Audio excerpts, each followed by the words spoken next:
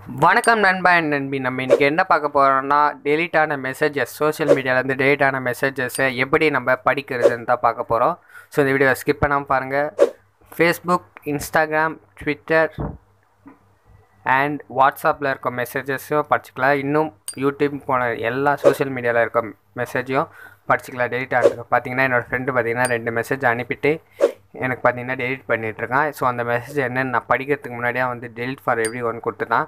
So அந்த மெசேஜை நம்ம இப்போ படிக்க போகிறோம் இந்த டிஸ்கிரிப்ஷனில் லிங்க் கொடுத்துருக்கேன். அது மூலிமா நீங்கள் இந்த ஆப்பை டவுன்லோட் பண்ணிக்கலாம். ஆப்பை ஓப்பன் பண்ணோடனே பார்த்தீங்கன்னா இன்டர்ஃபேஸ் இப்படி தான் ஓப்பன் ஆகும். ஸோ எல்லா சோஷியல் மீடியாவில் இருக்க வர மெசேஜ் வந்து நோட்டிஃபிகேஷனாக சேர்த்து வச்சுக்கோம். பார்த்தீங்கன்னா என்னோடய ஃப்ரெண்ட் வந்து மச்சி வெயிட்னு மெசேஜ் அனுப்பி டெலிட் பண்ணியிருக்கான்.